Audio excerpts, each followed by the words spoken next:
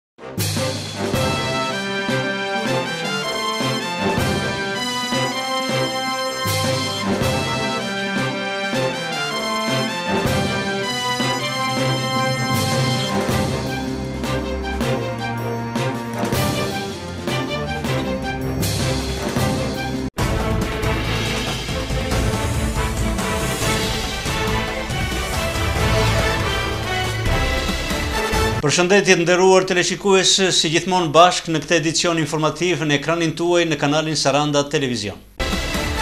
Ministria e Shëndetësisë ka prezantuar Kartën e Shëndetit, e cila do të zvendësojë hap pas hapi librezën shëndetësore.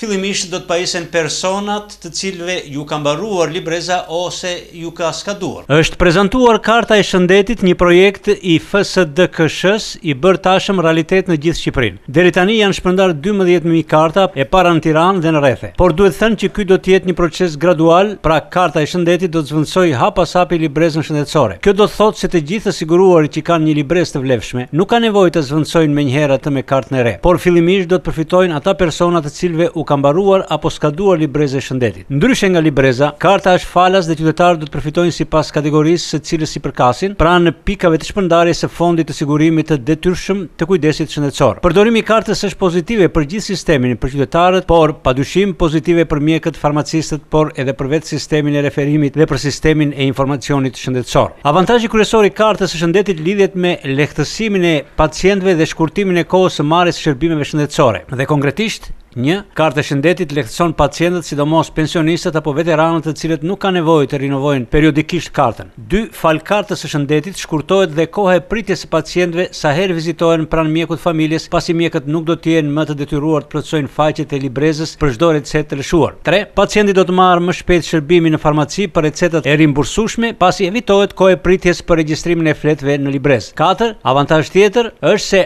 ajo është e printuar, ndërsa libreza shëndetësore plotësohet me dorë, dhe pesë, gjithashtu karta realizon lidhjen e ID-së kombëtare me personin përfitues duke ofruar mundësi për shkëmbimin e të dhënave me institucionet e tjera në sistem. Kartën e përfitojnë të gjithë të siguruarit, pensionistët, veteranët, invalidët, të punësuarit, të vetëpunësuarit, të siguruar vullnetarisht, fëmijët, gratë shtatzane, personat që trajtohen me ndihmë ekonomike, punëkërkuesit, viktimat e trafikut, e tjerë. Qeveria shqiptare ka miratuar së fundmi kuadrin makroekonomik fiskal për vitet dy mijë e gjashtëmbëdhjetë, dy mijë e tetëmbëdhjetë. Në mbledhjen e Qeverisë ditën e djeshme është miratuar kuadri makroekonomik e fiskal për periudhën dy mijë e gjashtëmbëdhjetë, dy mijë e tetëmbëdhjetë sipas lidhjes numur një, treguesit kryesorë makroekonomikë dhe lidhjeve numur dy fraksion një e numur dy fraksion dy, treguesit fiskalë sipas buxhetit të konsoliduar që i bashkëlidhen këtij vendimi dhe janë pjesë përbërëse e tij. Për këtë, ngarkohet Ministria e Financave, ndërsa hyn menjëherë në fuqi. Pas miratimit të Qeverisë, Presidenti ka dekretuar delegimin e kompetencave, ku turizmi do të jetë pjesë e Ministrisë së Zhvillimit të Ekonomisë dhe Tregtisë, e cila drejtohet nga zoti Arben Ahmetaj. Presidenti Bujar Nishani ka dekretuar delegimin e kompetencave të miratuara nga Qeveria sipas të cilave turizmi do t'i kalojë Ministrisë së Zhvillimit Ekonomik, Tregtisë dhe Sipërmarrjes që drejtohet nga Arben Ahmetaj. Me dekretimin nga Nishani, tashmë ministria që drejton Eglantina Gjermeni do të quhet Ministria e Zhvillimit Urban ose MZHU, ndërsa, Ajo e ministrit Ahmetaj, me ndryshimet e reja, emërtohet Ministria e Zhvillimit Ekonomik, Turizmit, Tregtisë dhe Sipërmarrjes. Komisariati i Policisë së Delvinës njofton se në vendin e quajtur Stani Roshe me mjete të forta është dëmtuar tubacioni që furnizon me ujë të pijshëm Finiqin. Sipas Komisariatit të Policisë së Delvinës, më datën njëzet e tetë janar gjatë natës, në vendin e quajtur Stani Roshe, është dëmtuar me mjete prerëse tubacioni që furnizon me ujë të pijshëm komunën e Finiqit. Policia punon për identifikimin dhe kapjen e autorit.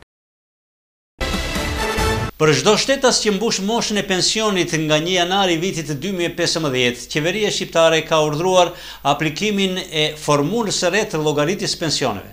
Qeveria ka urdhëruar aplikimin e formulës së re të llogaritjes së pensionit për ata që mbushin moshën nga një janari i vitit dy mijë e pesëmbëdhjetë. Për pensionet që plotësojnë periudhën e sigurimit kur e drejta për përfitim lind nga data një janar e në vazhdim, përfshi edhe këtë datë, pensioni do të llogaritet mbi masën e pensionit social që është caktuar gjashtë mijë e shtatëqind e pesëdhjetë lekë. Sipas vendimit të djeshëm të Këshillit të Ministrave për kontributin e detyrueshëm dhe përfitimet nga sistemi i sigurimeve shoqërore dhe shëndetësore, për llogaritjen e pensionit individual, shuma bazë, pra pensioni social, shumëzohet me muajt e sigurimit që personi ka arritur nëpërmjet derdhjes së kontributeve dhe pjesëtohet me muajt e sigurimit referuar vitit të lindjes së të drejtës për pension. Për efekt të llogaritjes së shumë bazave individuale, konsiderohet një muaj i plotë vetëm kur periudha e sigurimit është mbi pesëmbëdhjetë ditë, ndërkaq nuk ndryshon mënyra e llogaritjes për ata që kanë dalë në pension para një janarit. Masa e pensionit për ata që nuk e kanë plotësuar vjetërsinë e punës dhe periudhën e sigurimit do të jetë. tetë mijë e treqind e nëntëdhjetë e tetë lekë në muaj, ndërsa pensioni bazë minimal dymbëdhjetë mijë e dyqind e gjashtëdhjetë e katër lekë në muaj. Kjo shumë bazë e përfitimit është për personat që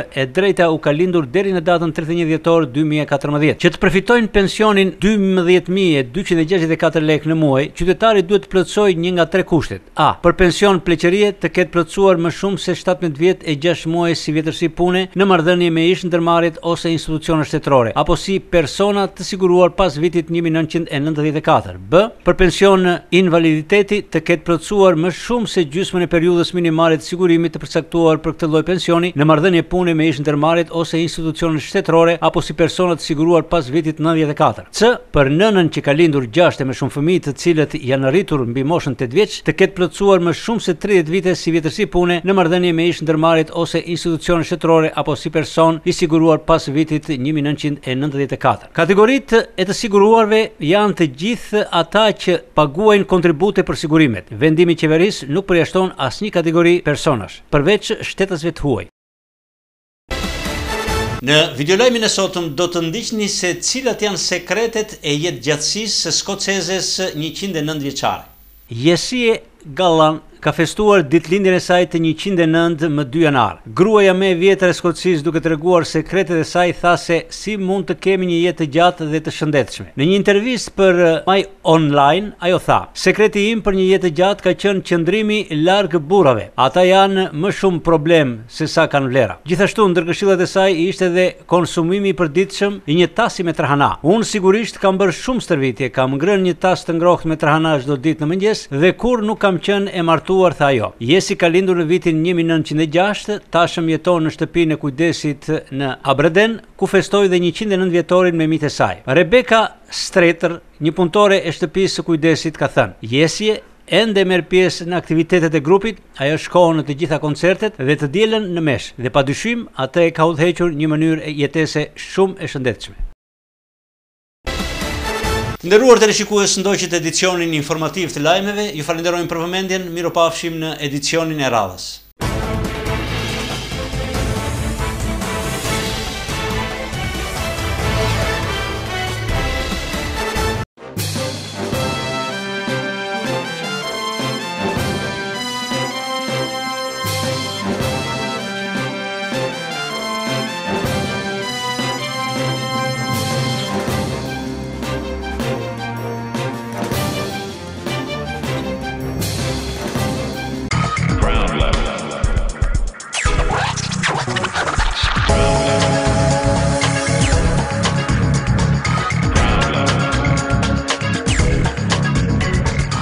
Ditët e fundit në gjimnazin Hasan Tahsini, në kuadrin e shkollës si qendër komunitare, u zhvillua një aktivitet interesant për një nga problemet e mprehta që shqetëson mbarë shoqërinë tonë, ai i përdorimit të duhanit.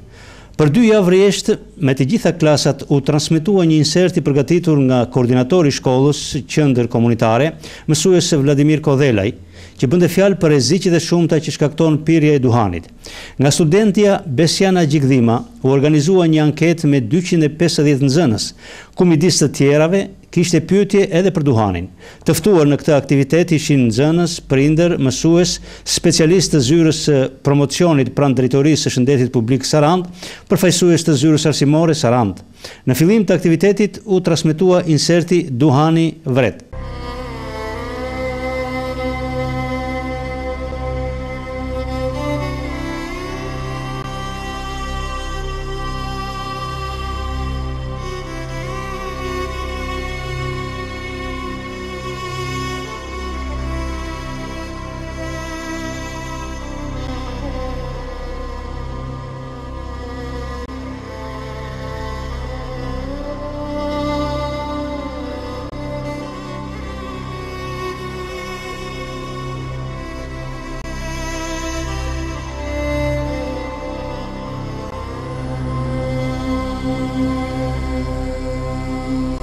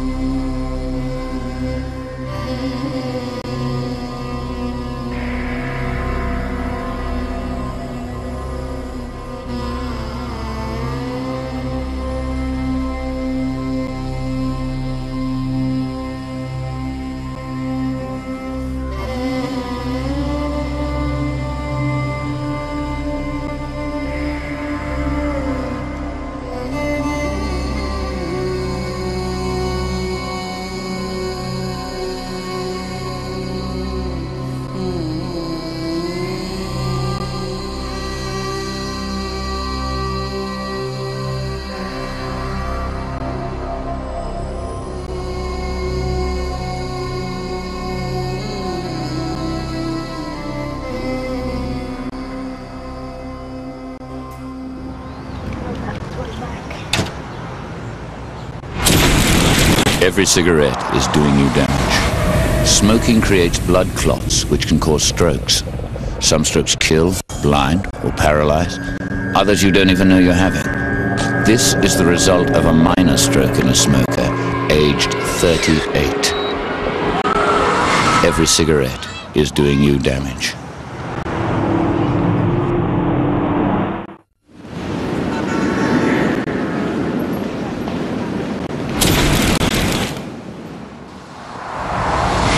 Every cigarette is doing you damage. Lungs are like sponges with millions of tiny air sacs for transferring oxygen. Every breath of tobacco smoke attacks them. No wonder smokers feel short of breath. Their lungs are rotting. Every cigarette is doing you damage.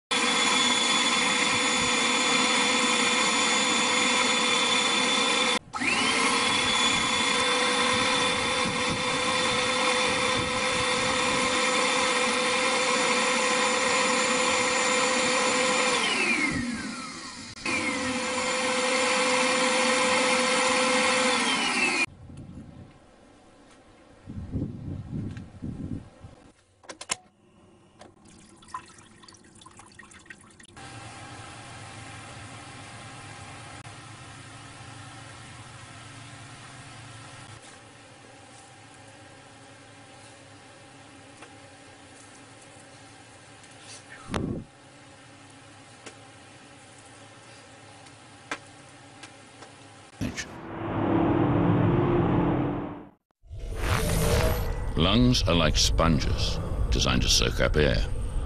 But some people use their lungs to soak up cigarette smoke.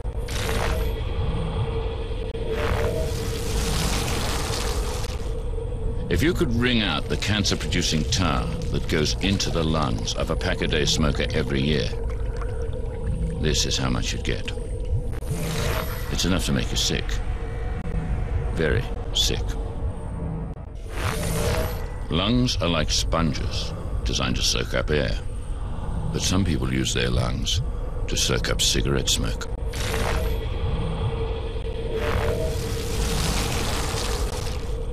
If you could wring out the cancer-producing tar that goes into the lungs of a pack-a-day smoker every year, this is how much you'd get.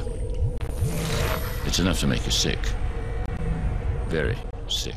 Doktor Jorgo Mërtiri foli për punën që bëhet sot në vendin tonë për ndalimin e përdorimit të duhanit në mjedise publike. Duke folur për sanksione ndaj përdoruesve të duhanit në shkollë, midis të tjerave ai tha. Prandaj kërkoj që edhe nga ju që jini të moshës së re, që jini të kapshëm në shkollë dhe në dijet tuaja për të ndihmuar këtë shkencë që të ecë përpara duke e ndërprerë, duke e ndërprerë pirjen e duhanit, këtë armik kaq të madh, ju e patë dhe nuk kam të madhë të për këtë. Duke i vlerësuar këto, qeveria jonë ka nxjerrë një ligj, Është ligji nëntëdhjetë e gjashtë, tridhjetë e gjashtë, që është bërë që në dy mijë e gjashtë. U fol shumë për gjoba që mund të vendoseshin dhe ishin janë shumë të mëdha. Domethënë, në qoftë se kapet një pirës duhani në shkollë, drejtori i shkollës, ndëshkohet me 3 milion. Pirësi i duhanit ndëshkohet me 500 mijë. Mjaft interesante për të pranishmit ishin dhe konkluzionet për anketën e zhvilluar me nxënësit e shkollës nga studentja Besiana Gjikdhima. Aktiviteti vazhdoi me psikologun Bardhi Maliqi, i cili bëri disa zgjidhje psikologjike të problemeve të duhanit në shkollat tona. Më pas të pranishmit ndoqën disa mendime nga vetë nxënësit për duhanin.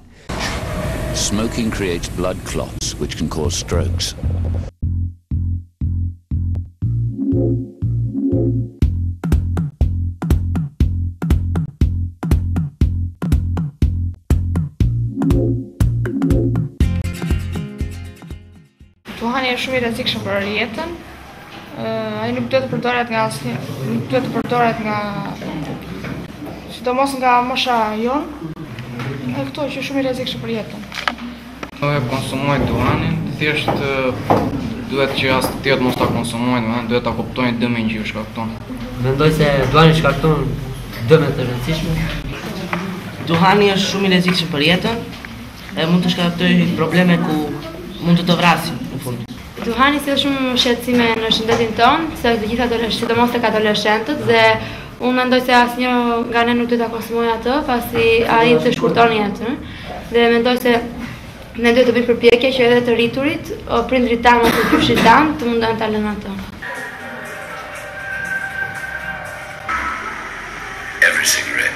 Nga inserti që pamë Duhani vret. Për mendimin tim, duhani nuk duhet të përdoret nga asnjë person sepse shkakton shumë dëme serioze në shëndetin e secilit, por jo vetëm të shëndetit, por dhe psikologjike.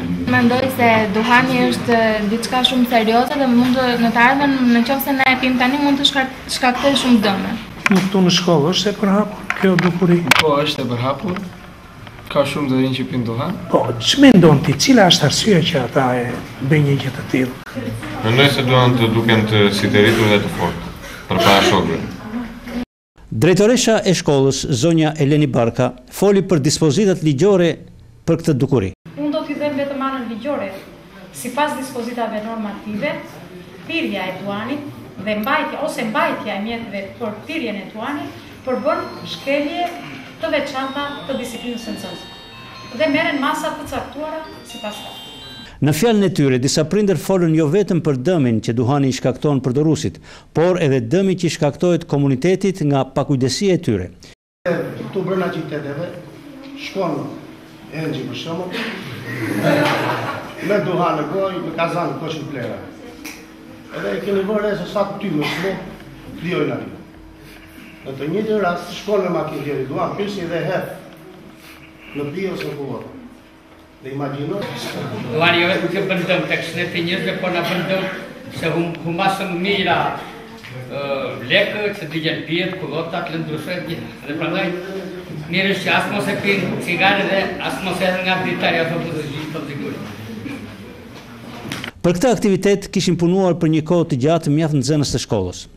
Kështu, për shembull, grupi i piktorëve të shkollës kishte përgatitur mjaft punime interesante që i ekspozuan për të pranishmit në aktivitet.